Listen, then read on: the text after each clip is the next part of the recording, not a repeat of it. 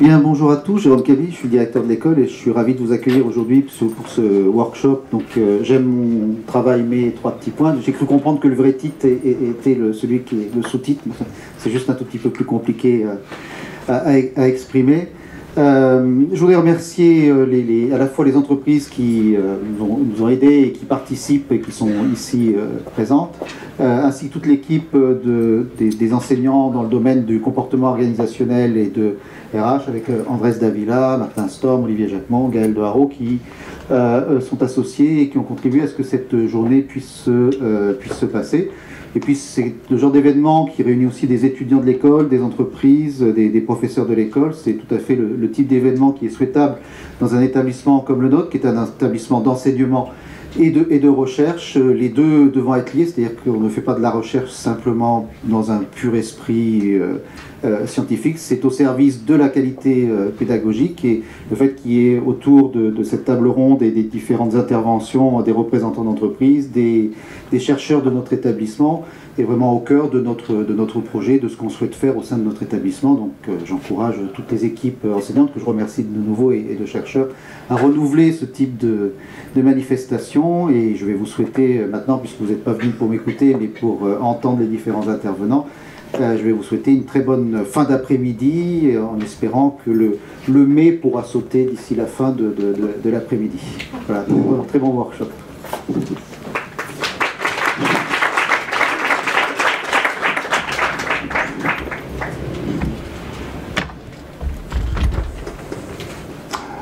Andrés, tu veux dire un mot pour commencer? Non, tu veux présenter aussi euh, quelque chose ou j'y vais directement? Bah alors allons-y. Euh, je vais vous expliquer très rapidement, si le micro me le permet, s'il n'y a pas trop de parasites, euh, je vous expliquerai très rapidement le déroulement. On va avoir trois tables rondes, on commence euh, tout de suite. chaque intervenant va présenter sa proposition en une dizaine de minutes, et puis après on en discutera. Alors comme le rythme est extrêmement soutenu, on passera le micro dans le public, donc vous serez libre de poser des questions et d'intervenir. Et je vous conseille une chose, c'est de garder vos questions bien au chaud puisqu'à la fin des trois, des trois tables rondes, euh, il y aura un, temps plus long pour euh, continuer à discuter et à débattre avec nos intervenants qui seront un plaisir, j'en suis sûr, de vous répondre. Alors, euh, on va commencer tout de suite. J'ai le plaisir et l'honneur d'animer cette conférence en ce workshop. Et je vais commencer par me présenter moi-même, Olivier Jacquemont, puisque je suis le premier intervenant de, cette, de cette première table ronde. Et j'interviens sur le thème de l'amitié. Alors, est-ce que ça peut apparaître quelque part ici? C'est pas très grave. Le, thème était intitulé. Euh, non, c'est pas très grave. Est-ce que ça va mieux là? Vous m'entendez mieux? Bon, superbe. Ça parasitera plus. Bon, très bien. Donc l'entreprise, à nouveau, topos pour l'amitié. Topos, hein, et non pas topo. Donc euh, est-ce que l'entreprise peut être un lieu pour accueillir l'amitié? C'est une question qui peut sembler de prime abord extrêmement naïve. Euh, et je la pose délibérément, puisqu'en fait, il faut totalement revoir nos définitions et la façon la conception qu'on a de l'amitié. On a tendance à en faire une affaire complètement privée, euh, une affaire d'affect, une affaire d'émotion, une affaire d'affinité, donc euh, l'affinité élective hein, qu'on trouve chez Montaigne ou chez Labo ici, parce que c'était lui, parce que c'était moi. Et en réalité, l'enjeu, c'est de penser l'amitié autrement, c'est de penser l'amitié d'un point de vue politique. Qu'est-ce que c'est que le politique? C'est penser le lien, le lien entre les êtres qu'est-ce qui nous unit, qu'est-ce qui nous sépare, qu'est-ce qui nous fait agir et vivre ensemble. Vous connaissez tous la question du, vivre ensemble qui a été très largement popularisée. Eh bien, c'est ça, si on traduit ça en termes de lien, c'est la question du lien social et donc du lien politique entre les individus. Ce n'est pas une affaire affinitaire. Quand je vous dis ça, je remonte à la Grèce antique, je vous remonte à Aristote, évidemment, et à la question de la cité. Euh, la forme du lien social dans la cité, donc dans la vie politique, c'est l'amitié. Euh, donc, si on devait définir l'amitié, on pourrait dire, alors à la suite d'un certain nombre de penseurs, dont les plus contemporains, Derrida et autres, c'est la liaison, la déliaison sociale. Vous voyez, on pense à un paradoxe, hein, presque une aporie, c'est le, lien dans la séparation, le lien de la séparation, c'est on respecte l'altérité, nous sommes deux personnes séparées et pourtant il y a une relation qui s'établit, donc c'est le lien de la fragilité, l'amitié. Et euh, c'est surtout une relation de type horizontal. Donc euh, peut-être que vous commencez à voir où je veux en venir. Une relation de type horizontal, une relation de type égalitaire. Donc les, amis forment une communauté d'égaux euh, qui sont unis par une liberté commune.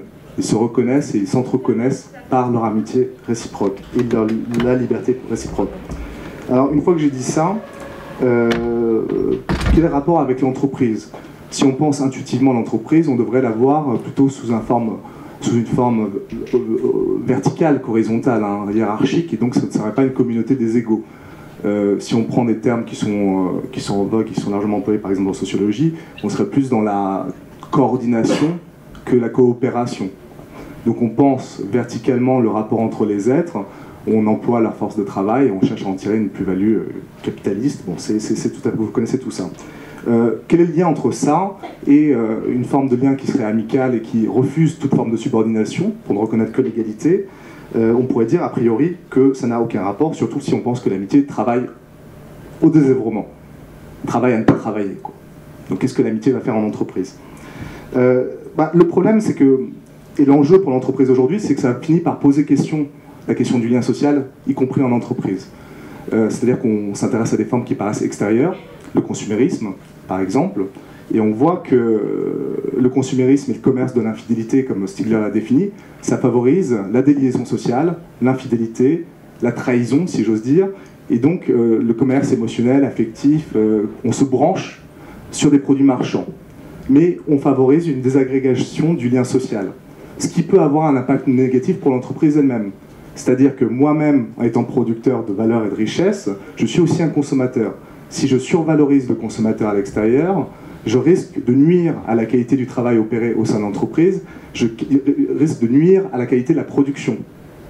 Si je suis dans un commerce de l'infidélité où je pense en tant qu'individu à mon intérêt égoïste, je risque de nuire à la cohésion du projet d'ensemble d'une entreprise.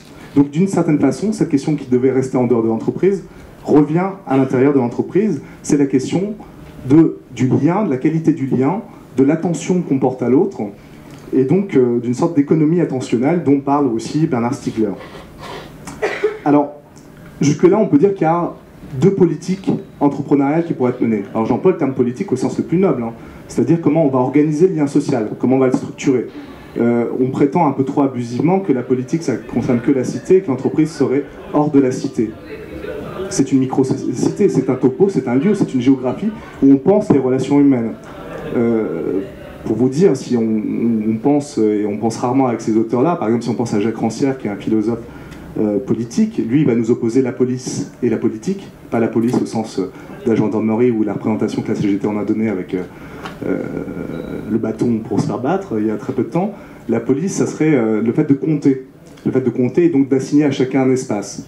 Euh, donc voilà, l'entreprise, en, en organisant le travail, donne, confie une place à chacun, assigne une place à chacun. La politique, ce serait l'excès, ce serait le surplus, c'est ce qui n'a pas de place, ce qui ne peut être assigné. Là, on reviendrait du côté euh, de l'amitié. Donc soit on continue à coordonner d'en haut en essayant de retirer une plus-value des affects, des puissances qui sont unies par les travailleurs, et donc on reste dans une organisation classique, soit on cherche à revoir ça sur des modèles qui seraient plus euh, coopératifs. Ça aussi, terme très en vogue. Donc travailler ensemble à augmenter sa puissance d'agir au niveau personnel, mais aussi travailler à l'augmentation collective de la puissance d'agir. L'idée qu'il y aurait derrière ça, et là on est presque, on revient dans un calcul qui pourrait sembler un calcul gestionnaire, c'est qu'une intuition, si les individus travaillent ensemble de façon horizontale et égalitaire, ils seraient capables de créer une richesse et, un, et euh, si vous voulez, une attention à l'autre, un, lien social qui serait profitable à l'entreprise davantage qu'une activité euh, verticale qui à terme, à terme, parce que pas dans le court terme, à terme nuit à l'efficacité de l'ensemble. Ça, ça serait du point de vue de euh, l'entreprise. Et puis d'un point de vue humain aussi, puisqu'on va le voir dans certaines interventions ici, et au niveau émotionnel et en termes de souffrance, euh, la coordination est violente, puisque c'est un rapport de pouvoir et un rapport de domination, alors que la coopération est une implémentation de son identité, de sa subjectivité, et un travail en commun, et donc euh, avec l'autre comme partenaire. Euh, voilà pour... il faut aller très vite. Ce que j'ai envie de dire par rapport à ça, c'est que si on passe de la coopération, de la coordination à la coopération, il manque peut-être un terme, c'est le terme d'amitié justement. on ne prescrit pas la coopération ou du moins il faut laisser un espace dans lequel le rapport à l'autre puisse s'élaborer de façon informelle. Et on le voit dans les entreprises, et c'est des choses qui ne sont pas forcément pensées. Tant mieux que ça ne soit pas pensé, il faudrait penser à ne pas penser dans ces cas-là. C'est développer des espaces qui soient informels, qui sont des lieux de rencontre et de discussion, des espaces dialogiques où les individus se construisent subjectivement en dehors du temps productif. Et où il y en a partout. On peut penser aux toilettes.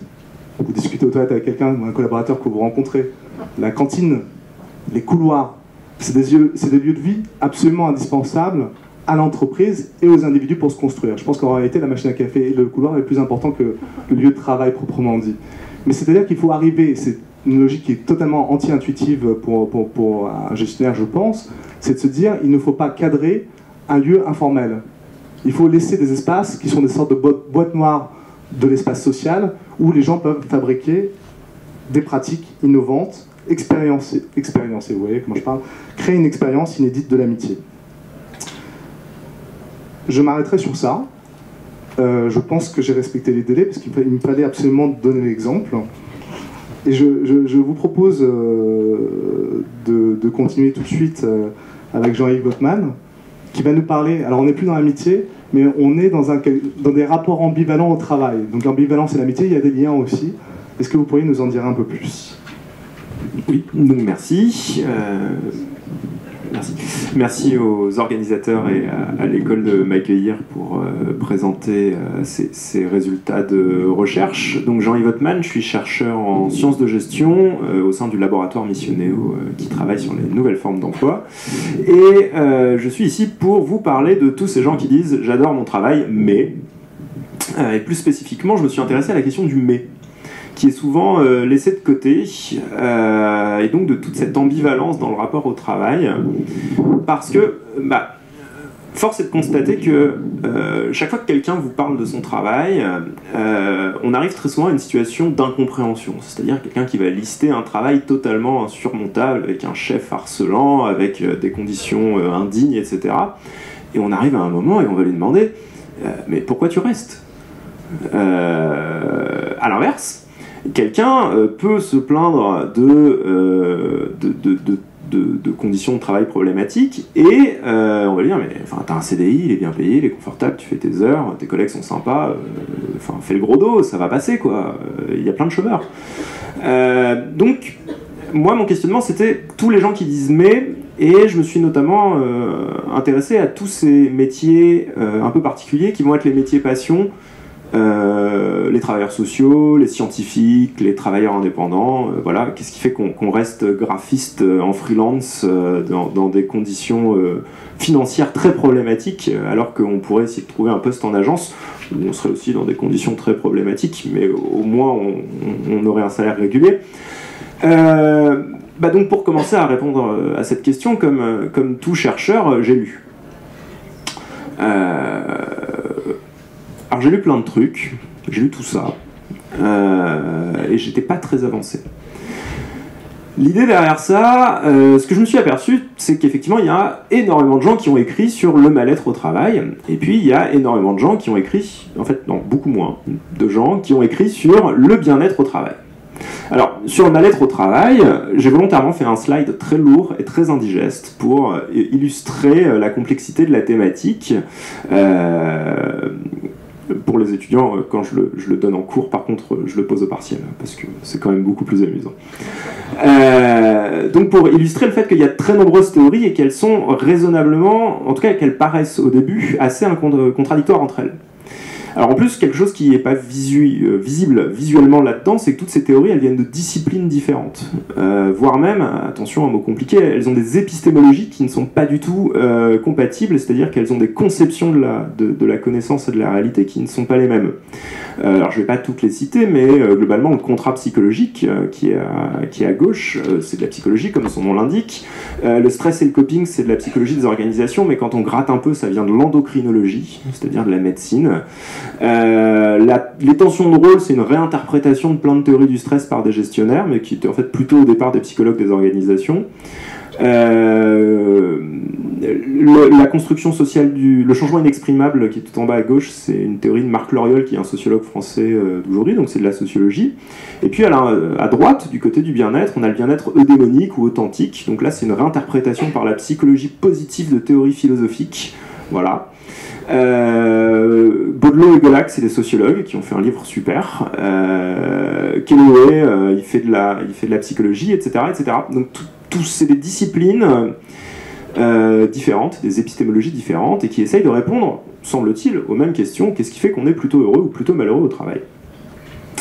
Puis en lisant tout ça, je me suis aperçu qu'il y avait plusieurs choses qu'on pouvait constater. La première, c'est que soit on présuppose que parmi tous ces modèles-là, il y en a un qui est juste, tous les autres sont faux, et ça paraît peu plausible, soit on présuppose qu'ils sont tous justes. Et là, il y a un travail d'intégration qui n'est que rarement fait. La deuxième chose dont euh, je me suis rendu compte, et j'ai mis longtemps en fait, c'est que on ne questionne jamais le fait que le bien-être et le mal-être, ou que le bonheur et le malheur, euh, soient autre chose qu'opposés. C'est-à-dire que implicitement, et c'est un problème parce que en sciences, y compris en sciences sociales, les choses ne devraient pas être implicites, on suppose qu'on est soit heureux, soit malheureux. Et en fait, une des manières de faire cohabiter tous ces modèles, c'est de battre ça en brèche et de considérer que les choses ne sont pas contradictoires et qu'on peut être simultanément heureux et malheureux, et donc dire j'adore mon travail, mais. Et que, effectivement, on adore son travail, c'est pour ça qu'on y reste, mais en même temps, tout ce qui vient après le mais est aussi tout à fait sincère. Alors j'en suis arrivé à proposer un modèle intégratif euh, qui part de la nature du travail, de son organisation et de son environnement, et qui distingue en fait une dimension qui est profondément subjective, euh, et qui est l'engagement subjectif dans le travail, c'est-à-dire qu'est-ce qui fait que émotionnellement, effectivement, on va s'investir, s'engager, euh, s'impliquer dans son travail. Et cette dimension subjective, globalement, elle conduit au bien-être. Elle conduit à être heureux au travail. Sauf qu'elle a la capacité à coexister, et réellement à coexister, avec une approche qu'on pourrait euh, qualifier de beaucoup plus analytique, de beaucoup plus objectif quelque part, euh, qui est, autrement dit, les conditions de travail, donc ça va être des facteurs de mal-être. Les facteurs de mal-être, ça va être un déficit de reconnaissance, des difficultés d'articulation entre la vie privée et la vie professionnelle, une autonomie insuffisante, des conflits de valeurs, le fait qu'on doit faire dans son travail des choses avec lesquelles on n'est pas d'accord, etc., etc. Je, les ai listés, il y en a 22, je vous les fais pas tous. Euh, voilà. Euh, sauf que tous ces, chacun de ces facteurs de mal-être peut euh, tout à fait cohabiter avec, par ailleurs, un engagement sincère dans son travail, notamment dans les buts de son travail. Et là, je recite à nouveau mes travailleurs sociaux, mes scientifiques ou mes travailleurs indépendants qui trouvent une vraie, un vrai plaisir à gérer leur activité par eux-mêmes. Et donc, concrètement, l'idée c'est que ça amène, euh, ça, amène à quatre situations possibles. Euh, c'est le bas du, schéma qui est derrière moi. Euh, effectivement, une situation où on a un fort engagement subjectif dans des conditions excellentes. Moi, c'est des gens très heureux au travail ils ont beaucoup de chance. une situation où il n'y a aucun engagement subjectif, c'est-à-dire fondamentalement on n'aime pas son travail et où en plus ça se passe mal. Alors là, ça conduit à des réelles situations de souffrance qui, à l'arrière, ne posent pas question. personne n'en douterait. Et puis, ça amène à deux autres situations. Euh, dans le schéma, il y a la situation avec le, carré euh, d'une couleur indéterminée, qui est donc le recouvrement du bien-être et du mal-être, les fameux rapports ambivalents. Tous ces gens qui disent mais et euh, où c'est tout à fait sincère. L'intérêt de réfléchir comme ça, c'est que en fait, c'est pas en améliorant leur bien-être qu'on fera disparaître leur mal-être, et c'est pas en faisant disparaître leur mal-être qu'on créera du bien-être. C'est bien deux problématiques différentes.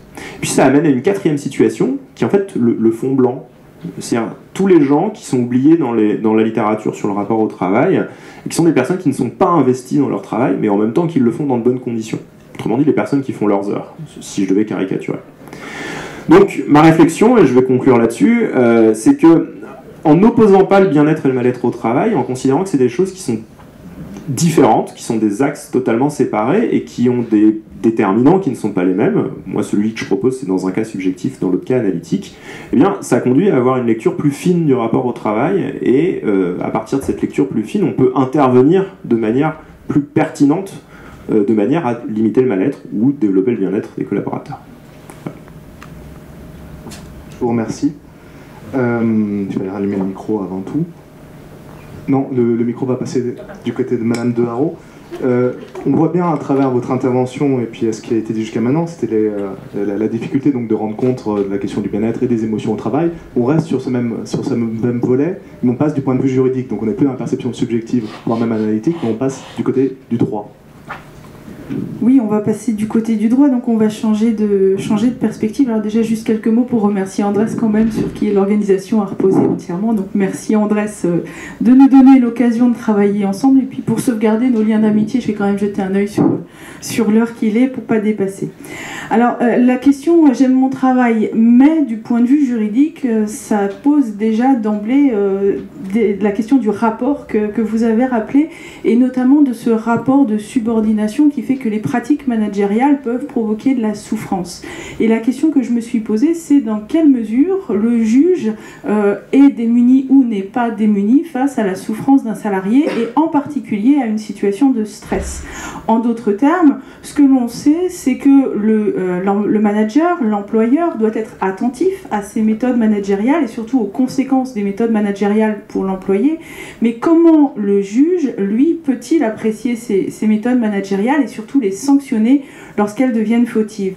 Alors l'une des questions les plus problématiques que l'on rencontre lorsqu'on étudie la jurisprudence, c'est que le mot stress, c'est un mot partagé par tout le monde. On a tous été stressés à un moment donné, ou alors on a tous ressenti du stress, sauf que pour le juge, ressentir du stress n'est pas en soi anormal, et il lui appartient de dire à quel moment le stress devient anormal dans l'utilisation d'une méthode managériale.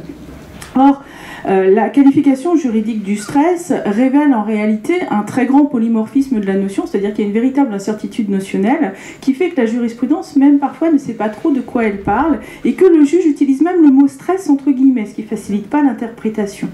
Donc, euh, j'ai procédé à une analyse de la jurisprudence et pris toutes les décisions qui contenaient le mot stress entre 2008 et 2015. 2008 parce que c'est la date de l'accord national interprofessionnel sur le stress et 2015 parce qu'il fallait bien s'arrêter à un moment donné et donc j'ai mis euh, la fin études à 2015. Et donc cette étude-là, eh bien j'ai essayé de la caractériser, de, recenser toutes les utilisations du stress qui pouvaient, euh, qui pouvaient être faites. Et la première des choses que l'on voit, c'est que le juge reçoit le stress comme une plainte qui de toute façon est fondée. Un salarié stressé est fondé à se plaindre. Il est fondé à se plaindre, il est fondé à amener son affaire sur le bureau du juge, mais est-ce que pour autant le juge est fondé à prononcer une sanction sur le fondement de l'existence d'un stress. Alors il a fallu prendre les matériaux naturels du droit pour essayer de voir si effectivement ça donnait lieu à sanction ou pas. Et les deux matériaux dont on dispose, c'est le Code du travail et l'accord national interprofessionnel de 2008. Alors le Code du travail, lui, euh, il n'est pas très précis puisqu'il impose à l'employeur de prendre en considération euh, les conséquences des méthodes managériales sur la santé de son salarié. Donc ce que l'on sait, c'est qu'à partir du moment où les méthodes managériales entraînent du stress et que ce stress est médicalement constaté et qu'il entraîne des conséquences néfastes pour le salarié, il y a matière à sanction. Sauf que le stress, bah, ça a une relation, et même vous l'avez rappelé, hein, ça puise sa source, le mot stress puise sa source aussi dans le domaine médical. Le juge, il n'a pas plus de compétences que moi en la matière. Pour lui, le stress, c'est simplement un mot ramené par le salarié et qui peut être constaté par un médecin, mais sans véritablement révéler le caractère fautif de la méthode qui a provoqué la situation de stress. Alors l'accord national interprofessionnel nous en dit un petit peu plus en nous disant que, hein, je schématise beaucoup, mais euh, il ne s'est pas risqué non plus dans une définition très précise, il nous dit simplement c'est un décalage entre ce que l'on demande à un salarié et les moyens qu'on lui donne pour réaliser sa tâche, ou en tous les cas euh, le décalage qu'il ressent dans l'exécution de cette tâche. Donc il y a un très fort ressenti dans l'utilisation du stress qui fait que le juge finalement bah, se retrouve avec une question qu'on lui pose sans avoir la méthode pour qualifier, pour subsumer le stress qu'on lui dénonce dans une situation anormale ou fautive. Alors on se retrouve avec une jurisprudence qui finalement est très concrète, très contextualisée, puisque le juge utilise tout le temps un stress qui est un stress qualifié. C'est-à-dire qu'il est assez rare qu'il utilise le stress en tant que tel, et il va utiliser le stress post-traumatique, ou alors l'état de stress, ou le contexte de stress continu provoqué pour les salariés. Bref, il va systématiquement chercher à caractériser une anormalité, non pas dans le stress lui-même, mais dans les méthodes qui ont conduit à la situation.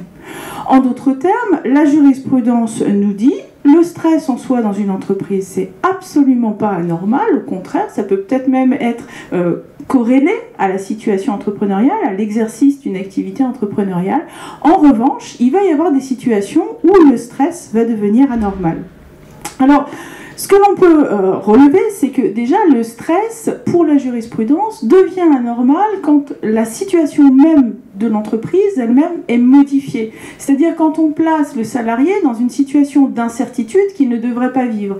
Par exemple, dans le contexte d'une restructuration, par exemple dans un rachat d'entreprise, une incertitude qui plane sur le salarié et qui dure, eh bien devient anormale et peut engager la responsabilité d'un employeur à l'égard du salarié donc stressé.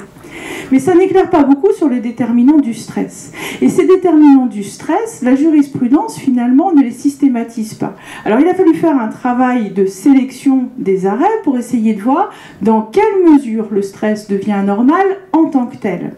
Et alors là, on a deux séries euh, de caractères, enfin de déterminants anormaux du stress.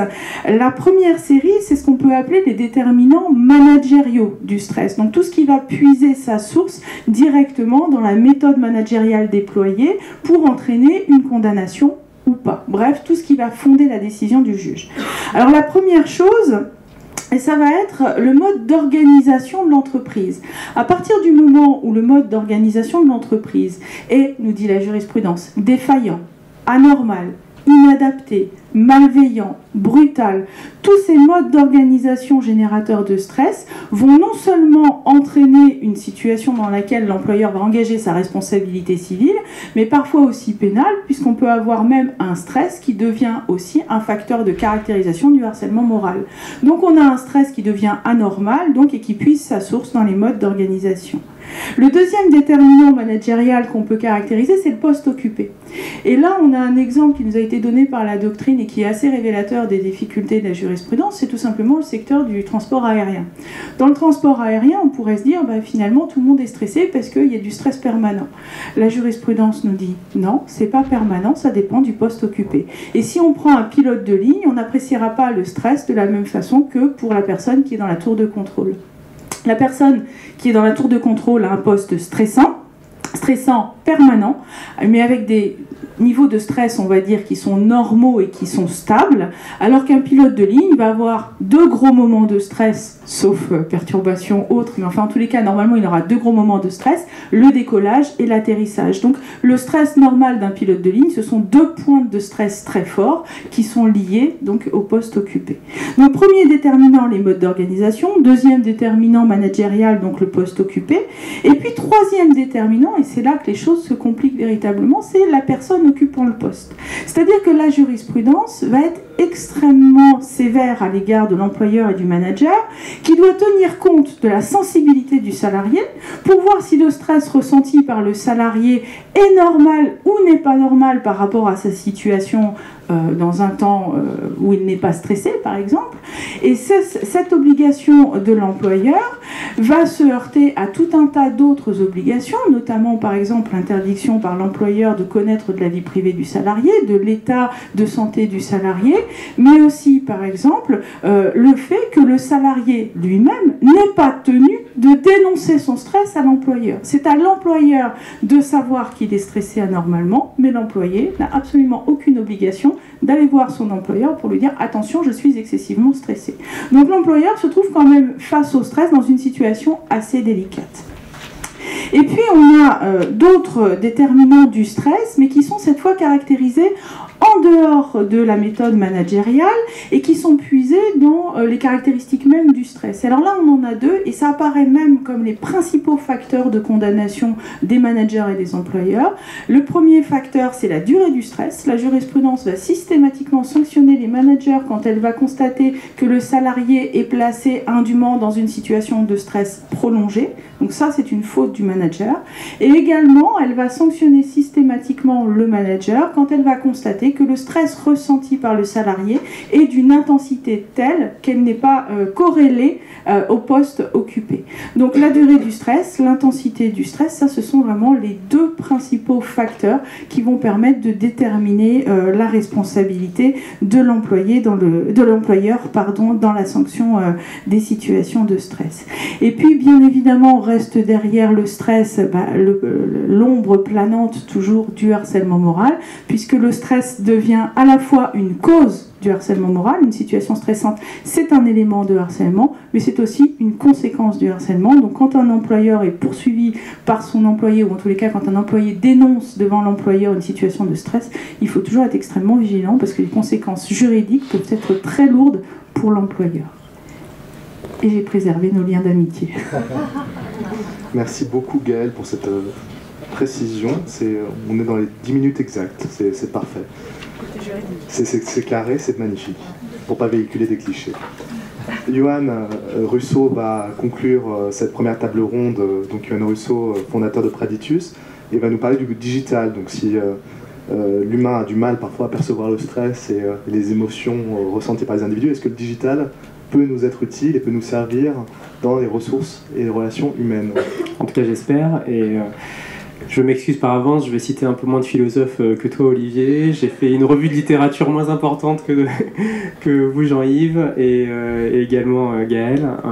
J'ai plus, en fait, donc je vais, essayer de parler de mon expérience. Donc, je suis pas un chercheur, je suis pas enseignant, et je suis même pas un expert dans les RH. Donc, vous voyez, c'est tout juste de savoir pourquoi, pourquoi je suis là, mais en même temps, je vais vous parler, en fait, avec mon expérience plutôt d'entrepreneur et également de euh, chef d'entreprise, euh, sur lequel euh, l'engagement, l'implication des collaborateurs au travail a été quelque chose qui pour moi a toujours été extrêmement important.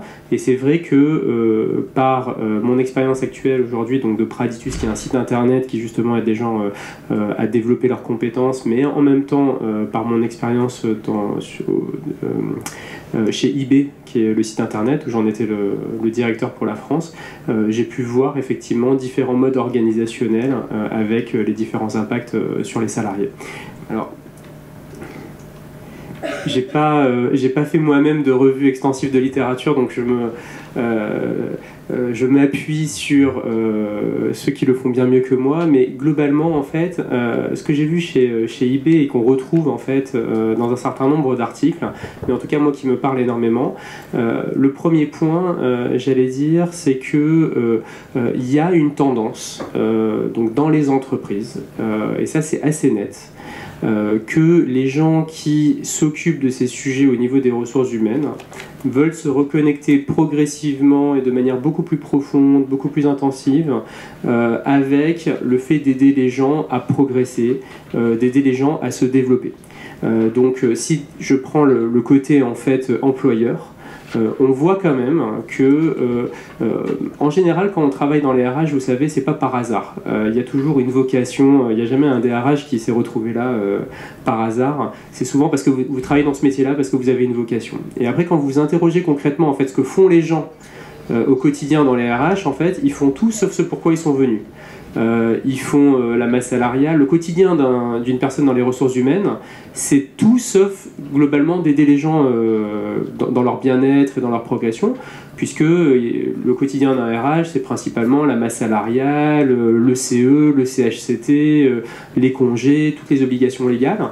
Et finalement, à la fin de la journée, le directeur des ressources humaines, le responsable des ressources humaines, il n'a pas eu beaucoup de temps, il faut l'admettre, pour aider concrètement ses collaborateurs dans leur bien-être, dans leur développement. Et ça, euh, on sait que euh, de plus en plus, euh, au niveau RH, les gens disent non mais ça suffit, on veut dissocier. Et le digital d'ailleurs aide beaucoup, puisque beaucoup de fonctions administratives maintenant sont facilitées par le digital. et donc de plus en plus, les gens veulent libérer du temps côté entreprise pour s'attacher et travailler sur ces problématiques d'engagement, de développement. Pourquoi pas de risques psychosociaux, mais j'allais dire, je ne vais pas le traiter, ce sujet-là, c'est un, un, un, cas particulier. voilà.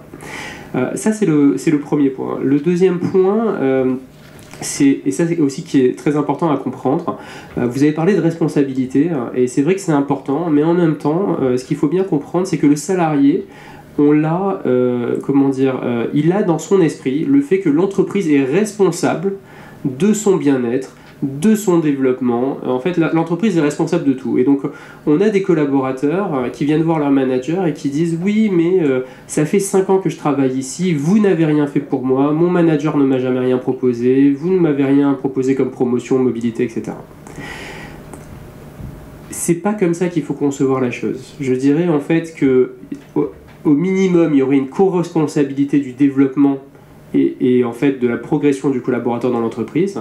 Mais mon, point de vue, c'est plutôt même qu'il y a une autonomie. Il y a besoin d'avoir une autonomie du collaborateur sur son plan de développement. Concrètement, quand on voit en fait comment ça se passe dans les entreprises, vous avez, vous prenez un grand groupe du CAC 40, où enfin, je, prends un exemple concret en fait sur une grande mutuelle où il y a 15 000 salariés. Euh, la, personne avec qui j'ai discuté me disait, mais vous savez, Johan, moi, à titre personnel, je suis le business partner RH en fait de 1400 salariés. C'est-à-dire, moi, à titre personnel, j'ai la responsabilité de 1400 personnes. Ça, c'est concret. C'est-à-dire, c'est. Voilà. Et donc, comment une personne peut s'occuper individuellement et être responsable, même si on, je ne parle pas du droit, hein, je pense que vous l'avez très bien expliqué, mais intellectuellement, comment on peut être responsable, on peut, euh, euh, euh, s'occuper individuellement de 1000, 1200, 1300 personnes. Vous savez bien, c'est impossible. Et il n'y a jamais aucune entreprise, même si vous travaillez chez Google, où vous aurez un RH, en fait, même derrière 10 collaborateurs. Donc, à partir de là, si le collaborateur veut se développer, si le collaborateur veut progresser dans l'entreprise, il faut à un moment qu'il comprenne qu'il doit être autonome, qu'il doit en fait se prendre en main. On ne peut pas dire ah oui mais l'entreprise, mon manager, euh, il n'était pas sympa, euh, il a rien fait pour moi. Et on l'entend très souvent ça. Mais dans la réalité, on ne peut pas le dire parce que si vous vous prenez pas en main, si vous acceptez pas en fait que l'entreprise met à disposition des outils, mais en même temps c'est à vous d'être responsable de votre développement, euh, vous n'irez pas, en fait vous ne progresserez pas. Et l'entreprise de toute façon ne, comment dire, n'accompagnera pas ça en fait, parce qu'elle n'a pas les moyens de détecter si vous-même vous n'exprimez pas un petit peu. Alors le deuxième point en fait euh, qui est important, c'est euh, la notion d'engagement, puisqu'on parle en fait de j'aime mon travail mais. Et, clairement en fait le mais euh, c'est beaucoup plus détaillé tel que vous l'avez présenté, mais je dirais peut-être pour le, pour le synthétiser de manière un peu plus simple, la notion d'engagement, effectivement, c'est le fait d'être connecté avec la mission et les valeurs de son entreprise, et surtout, puisque vous avez parlé en fait d'un rapport un peu transactionnel, je fais mes heures, voilà, c'est ce que vous avez dit, Typiquement, voilà, c'est on va, dire qu'une personne est engagée à partir du moment où elle va faire plus que ce qui est attendu euh, de son contrat, de sa, job description. Et à partir de là, en fait, on va pouvoir dire que la personne est engagée. Et il y a eu beaucoup, beaucoup de recherches qui ont montré que effectivement l'engagement euh, a énormément d'impact positif. Donc les entreprises doivent favoriser des collaborateurs engagés puisque ça favorise la fidélité, la rétention des collaborateurs d'entreprise. Et il y a même en fait des impacts financiers puisqu'un collaborateur engagé va produire plus, en fait, va avoir un meilleur euh, retour, euh, une meilleure profitabilité pour l'entreprise qu'un collaborateur qui est désengagé. Et un collaborateur désengagé, ça ne veut pas dire un collaborateur qui a une mauvaise performance. C'est ça le point. Euh, un collaborateur désengagé, et je pense que vous l'avez très bien dit, c'est en fait, on pourrait très bien dire le minimum syndical. voilà, je fais ce qui est attendu de moi, et ça marche, ça marche pas, bah, finalement c'est la même chose, je suis payé, et là en fait on est désengagé. La problématique, et je, il y a eu des études en fait euh, faites par euh, Gallup, mais il y a, d'autres organismes qui ont fait des études euh, sur le, désengagement. Les statistiques sont catastrophiques. Hein. Je ne sais pas si vous, connaissez les chiffres en fait, mais on parle de deux tiers, trois quarts des salariés qui seraient désengagés. Dans tous les cas, quel que soit le pays d'Europe, en fait, il n'y a même pas 40% des salariés qu'on pourrait considérer comme engagés. Et alors la France, je vous raconte même pas, on parle de seulement 10 à 15% de salariés qui seraient réellement engagés. Euh, donc les statistiques sont vraiment euh, euh, pas bonnes, même si la réalité après quand on va dans les entreprises n'est pas forcément aussi, aussi noire. Le problème aussi d'être désengagé et de laisser beaucoup de collaborateurs désengagés, c'est que vous êtes à la limite et à la frontière de ce que j'appelle l'activement, en fait c'est ce qu'ils appellent actively disengaged, activement désengagé. Et activement désengagé, c'est quoi en fait? C'est celui qui vient dans l'entreprise tous les matins, donc il vient quand même au boulot, mais alors il vient pour ramer en arrière. c'est celui qui est dans le bateau, vous savez, il rame, de loin vous voyez, ah mais il rame. Ah, mais quand vous regardez de plus près, ah ben non, il rame en arrière, c'est pour ça que le bateau il bouge pas. Et donc en fait, c'est le cynisme, le sarcasme. On parlait de la machine à café, et ben typiquement, voilà, euh, vous en avez, euh, si, vous travaillez, vous en avez forcément croisé au moins un dans votre vie. Euh, donc c'est celui en fait qui va venir tous les jours au travail, mais pour couler la boîte. Et ça, c'est un problème, et ça existe, hein, je veux dire, pour ceux qui travaillent, euh, alors les étudiants, ils rigolent, mais dans la réalité, ça, existe vraiment, hein, c'est pas une légende. Euh, et donc la problématique de laisser des collaborateurs désengagés, hein, c'est que évidemment, vous avez toujours le risque, en fait, ben, que un désengagé, à un moment, euh, pour une raison ou une autre, je veux dire un problème avec son manager ou autre, devienne activement désengagé. Et là, en fait, ça devient toxique, c'est un problème et, et, ça coûte énormément à la société. Le troisième point, pour être respectueux du temps, 5 minutes, oui. 3. mais c'est bon, c'était l'essentiel. Le troisième point, euh, c'est que euh, souvent les collaborateurs, hein, aujourd'hui ce qu'on voit, c'est que vous savez que le contexte économique n'est pas, euh, pas, n'est pas au mieux, c'est le moins qu'on puisse dire, il y a beaucoup de chômage, et dans les entreprises, dans les grandes entreprises, aujourd'hui les perspectives de développement, d'évolution se tassent un petit peu aussi, il faut voir. Je prends l'exemple d'une grande banque française. la DRH me disait, mais vous savez, moi, Johan, je suis rentré dans cette grande banque il y a 20 ans. On était 30 000 salariés, aujourd'hui on est 160 000. Imaginez-vous, en fait, il y avait tout le temps des opportunités de travail. Tout le temps. Aucun souci, de toute façon, on changeait de job tous les 3 ans. Aujourd'hui, on est 150 000 salariés. Euh, Internet, euh, vous savez, le e-banking, etc., en fait, ça pousse très fort. Donc, les agences, à mon avis, ça ne va pas recruter beaucoup. Donc, c'est sûr qu'on va jamais, en fait, on va pas augmenter en termes de nombre de salariés, on va plutôt réduire légèrement. Pas énormément, mais on va plutôt réduire.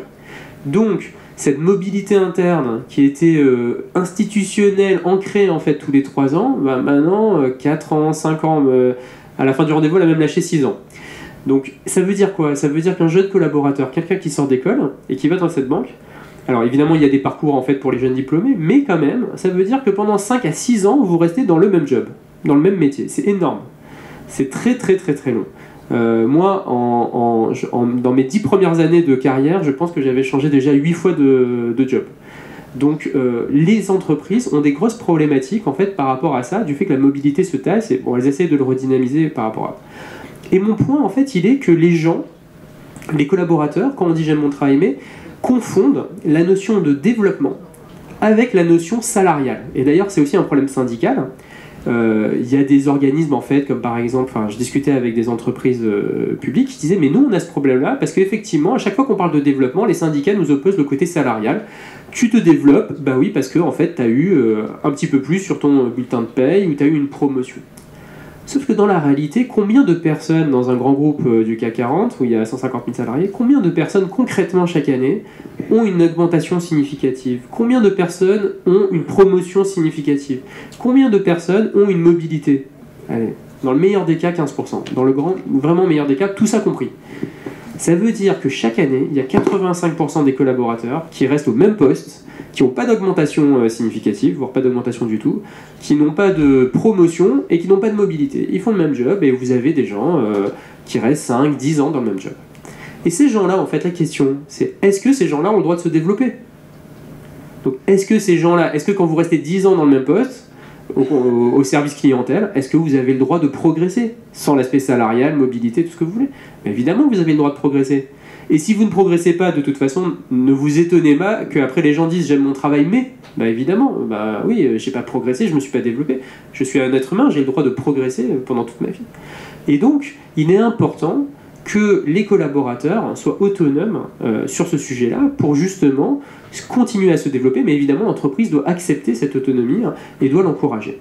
Et je termine en fait sur le dernier point, qui est que si on garde en fait à l'esprit les points précédents, et surtout en fait que les RH ne peuvent pas euh, être derrière chacun des collaborateurs, comment on progresse? Eh bien on progresse avec son manager.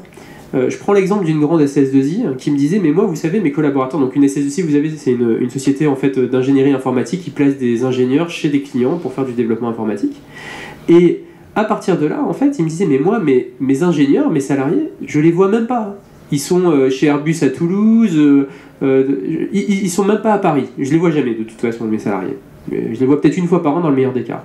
Et de toute façon le salarié alors pour le coup il voit même pas le, les RH il les voit jamais sauf s'il y a un problème donc, comment on s'assure en fait que ces gens-là se développent bah, Automatiquement avec leur manager. Maintenant, alors, pour ceux qui, ont, qui sont dans le monde du travail, euh, et, qui ont, pour ceux qui ont déjà vécu en fait des entretiens de développement, vous savez que les entretiens de développement, en fait, de plan de développement, c'est les entretiens les plus ennuyeux qui, qui soient. Euh, parce qu'en fait, comment ça se passe En fait, c'est que le salarié arrive, euh, il a rien préparé, et en fait, il arrive devant le collaborateur, devant le manager, alors le manager, il n'en peut plus parce qu'il a fait 15 entretiens, il est 18h, il veut rentrer chez lui, hein, c'est vraiment infernal. Et le salarié, il arrive et il dit ben je, ne sais pas quoi faire en fait. le manager il dit bon euh, qu'est-ce qui t'intéresse? Ben, je sais pas euh, qu'est-ce qui m'intéresse.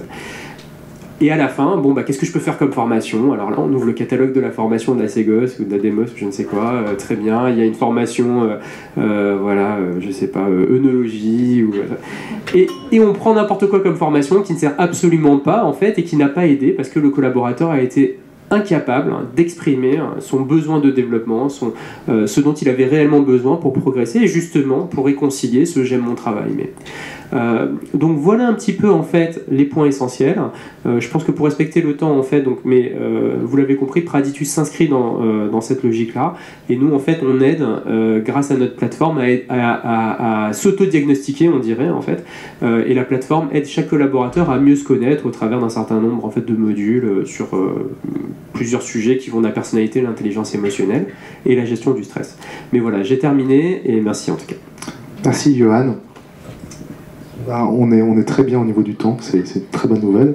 Euh, je vais avoir le temps de prendre une ou deux questions euh, tout de suite, dès à présent, histoire que vous puissiez vous chauffer un peu. Juste, euh, y a, je trouve ce qui est intéressant, c'est qu'en creux, dans vos autres trois interventions, et peut-être même dans la mienne, il y a cette question de la reconnaissance qui apparaît et donc de, du sens qu'on confère à son travail, bien évidemment, et de, ce qu'on attend de la relation qu'on a à son manager ou au RH, etc. Donc il y a quand même cette question qui est une perception subjective, même ça revient avec le droit, où le juge euh, interprète finalement le comportement du salarié, le mode organisationnel, et la subjectivité est engagée partout, avec tout ce que ça engage de difficultés pour... Euh, euh, mode de résolution. Juste une, petite blague, mais c'est pas vraiment une blague drôle, hein, comme toujours, c'est les philosophes, c'est jamais drôle.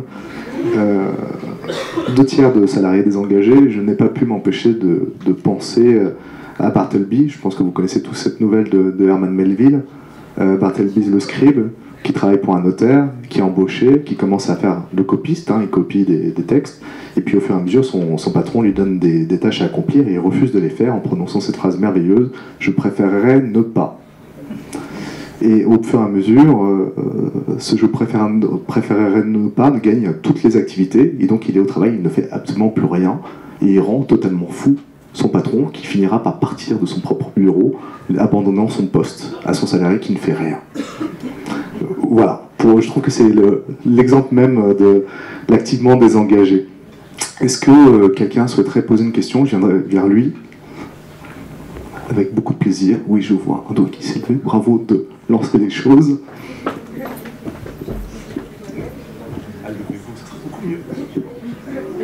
Bonjour. Euh, merci déjà pour euh, cette intervention. Euh, j'avais une question. Moi, j'ai effectué mon stage dans une entreprise où la culture d'entreprise était vraiment importante. Et j'ai trouvé ça un peu superficiel et ça m'a dérangé. Et je voulais savoir, est-ce que l'engagement personnel euh, passe-t-il obligatoirement par la sociabilité à l'intérieur de l'entreprise? C'est tout. Parce que moi, ça m'a vraiment dérangé cette superficialité. Euh, on est tous. Que... oui, non, même à l'intérieur de l'entreprise. Vous voulez poser cette question à qui? À vous, tous, tant que vous êtes. Est-ce que quelqu'un veut répondre à ça, ça j'ai peut-être quelque chose à dire rapidement, mais euh, euh, allez-y. Non, non, je voulais jouer à vous. Bah, moi, je, quand j'ai pas la réponse, euh, je me contente de rebondir sur la question. quand la question dit, moi, ce qui m'a dérangé, c'est la superficialité de ces relations. a priori, le, le, terme superficiel, il est contradictoire avec une notion d'engagement. après après, il ne peut pas y avoir non plus de, bien-être au travail sans lien social, euh, sans fonctionnement. Là, pour le coup, euh, les modèles de psychodynamique du travail, c'était quelque part dans mon tableau, disent que euh, c'est pas l'amitié est moins significative que l'entraide, la collaboration, la solidarité entre collègues. Et c'est ça l'indicateur qui montre si il y a un collectif de travail qui est vivant, qui est et qui est source de ressources et de bien-être. Euh, et donc le, terme, encore une fois, de superficialité euh, questionne la présence d'un vrai collectif de travail. Alors, je vous répondrai en fait, euh, un ami à moi qui s'appelle Andrés, un jour m'a dit que effectivement, le lien, euh, l'alignement avec la culture organisationnelle est extrêmement important. Et souvent, d'ailleurs, on dit on rentre dans une entreprise pour ses compétences et on la quitte parce qu'on n'a pas la culture d'entreprise. Maintenant, dans cet aspect en fait de culture organisationnelle, il y a différents en fait sujets et j'allais dire les valeurs de l'entreprise euh, peuvent être différentes. Et les valeurs qui sont les vôtres ne sont peut-être pas en lien avec les valeurs de l'entreprise, mais on peut avoir des valeurs individuelles. Euh, je travaille, enfin pour caricaturer, je travaille à la banque, je suis un freelance, enfin je travaille pour moi, et donc c'est peut-être ça qui vous correspond. Peut-être des valeurs sociales de l'entreprise en fait, euh, telles que vous l'exprimez, et, peut-être ça vous correspond pas. Euh, voilà, ça peut être l'hôpital, ça peut être plein d'environnements où les valeurs sociales sont importantes, ou des valeurs sociétales. En fait, on travaille pour quelque chose qui est plus grand que nous. Mais donc je pense qu'il est important de bien se connaître, justement, pour bien s'aligner avec les valeurs de l'entreprise. Mais c'est vrai que euh, c'est difficile euh, de pouvoir s'intégrer et d'être engagé dans une entreprise si on n'est pas aligné avec l'environnement organisationnel peut-être pour ajouter encore quelque chose, si on regarde les lieux informels dont je parlais, si on regarde les, entreprises par exemple de la Silicon Valley, le modèle qui est, proposé, euh, il va bien au-delà de l'entreprise. C'est-à-dire on, vante un modèle social qui pourrait s'appliquer à tous et qui est louable et qui est désirable. Donc il y a des lieux informels avec des salles de billard, des lieux de convivialité et autres. Ce qui est exactement ce que je disais tout à l'heure. Ce modèle-là s'appuie sur euh, le développement des réseaux sociaux et sur un modèle relationnel qui imite les codes de l'amitié. Euh, le meilleur exemple étant évidemment Facebook, on a des friends, on demande des friends, c'est ce qu'on appelle le, friending, qui est, une, pratique faible de l'amitié. C'est-à-dire on a euh, le non-amitié, mais sans les vertus et l'engagement réciproque qui est entendu par l'amitié. Déjà la reconnaissance d'une égalité entre l'interlocuteur et soi, et c'est pas quelque chose qui se veut comme étant narcissique, ça doit être une expérience qui a à voir avec le don et le contre-don aussi, mais quand on est dans une pratique du don et du contre-don, il y a un engagement, il y a une prise de risque qui n'existe pas, puisque c'est des pratiques qui sont euh, quasi euh, bon, aseptisé et hygiéniste, quoi, finalement. C'est de l'amitié sans l'amitié. Voilà. Mais ça devient un mode, euh, une sorte de valeur sociale qui est, défendue par les entreprises, et en premier lieu, celles qui sont en pointe. Donc je pense que c'est un peu dans ce sens-là que vous vouliez aller. Est-ce que quelqu'un d'autre a une autre question? Je pense qu'on en a une encore, et puis après on passera à la prochaine table ronde. Je m'appelle Thierry Loiseau, je travaille dans une entreprise. Ça fait 25 ans que je travaille. Été très insulté par vos propos de tout à l'heure et par tous les collègues euh, que j'ai pu connaître dans tous les collectifs, dans toutes les entreprises que j'ai vécues. Vous avez des gens qui sont tous engagés pour euh, euh, faire fonctionner l'entreprise, pour que le travail qu'ils ont à faire soit accompli dans les meilleures conditions, qui, qui partent à l'heure, qui arrivent à l'heure, parce qu'ils ont aussi des conditions de vie à l'extérieur. Mais ça n'est pas parce que les personnes partent à l'heure ou font juste leurs heures qu'elles ne sont pas impliquées dans leur travail. La plupart des gens croient à leur travail et ils ont besoin de leur travail pour eux, ils, donnent tout ce qu'ils ont dans leur, dans, leur vécu, dans leur, dans trip pour que leur travail soit fait correctement. Il n'y a pas forcément. L'engagement, il n'est pas nécessaire de faire toujours plus. Toujours plus, ça crée de l'insatisfaction. Cette insatisfaction, l'entreprise, la plupart du temps, elle ne peut pas nous, euh, y répondre, apporter quelque chose de, positif. Au contraire, vous découragez les personnes à générer sans arrêt de l'insatisfaction. Une personne qui, euh, qui travaille, qui retrouve de la reconnaissance aussi bien par les collectifs, par les merci qui peuvent arriver de temps en temps, qui sont souvent très oubliés par les managers, entre autres les donneurs d'ordre. Les euh, engueulades par les clients quand euh, quelque chose ne va pas et que le, salarié, lui, il fait tout ce qu'il peut pour essayer de résoudre le problème du client et qu'au bout du compte, il y arrive, c'est pas pour autant qu'il a, quand il est parti, il s'est pas engagé pour l'entreprise, il a bien contribué à la réussite de l'entreprise. Donc je ne peux pas vous laisser dire des choses pareilles.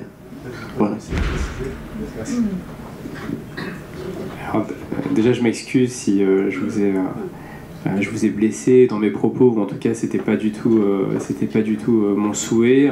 Pour les gens qui me connaissent, déjà, je suis quelqu'un alors pour lequel les horaires je prenais un exemple et j'illustrais ça, mais pour les gens qui travaillent avec moi, euh, j'ai une totale confiance dans mes collaborateurs et cette notion d'horaire en fait n'est pas du tout quelque chose qui est important pour moi. Euh, je reviens effectivement euh, sur vos points. Donc, le premier point, je suis tout à fait d'accord avec vous. Il n'y a aucune, j'allais dire, corrélation entre le fait de faire ses horaires et de faire plus d'heures en fait pour bien faire son travail. Là-dessus, je pense que c'est quelque chose, moi, que j'ai appris en fait des entreprises dans lesquelles j'ai travaillé et sur lequel en fait j'essaye de, partager avec mes collaborateurs. Mais j'ai jamais regardé en fait quand mes collaborateurs arrivent le matin, quand ils partent le soir, est-ce qu'ils travaillent de chez eux, etc. C'est quelque chose. Donc je vous rejoins et je suis désolé si j'ai été mal, euh, mal compris. J'ai essayé effectivement un petit peu, et je comprends euh, votre point, mais j'ai de caricaturer un petit peu. Et, euh, et, je comprends ce qui a, ce qui a accroché. le deuxième point, il est vrai que l'engagement, mais je ne vais pas rentrer dans ce sujet-là, mais il est vrai, je vous rejoins, que l'engagement peut être une source éventuellement de stress. C'est-à-dire que comme je vais donner plus pour l'entreprise, parce que, etc., à ce moment-là, je vais peut-être travailler plus, je vais m'engager plus, je vais prendre plus de risques, je vais être impliqué émotionnellement plus, et effectivement, je vais être peut-être un petit peu plus stressé. Donc euh, sur ce point-là, et effectivement, on peut en discuter un peu plus tard, mais, euh, euh, je, comprends votre point, et en tout cas, le fait de, partir parce qu'on a une vie à côté ne, ne, ne change en rien le fait d'être engagé dans l'entreprise. Merci beaucoup. Merci à vous trois euh, pour ces interventions. Je vous propose de continuer à discuter de ces questions euh, plus tard, donc après la troisième table ronde. Et j'invite tout de suite les intervenants suivants à me rejoindre, celles et ceux qui participent à la table ronde sur les nouvelles formes d'organisation et de gestion.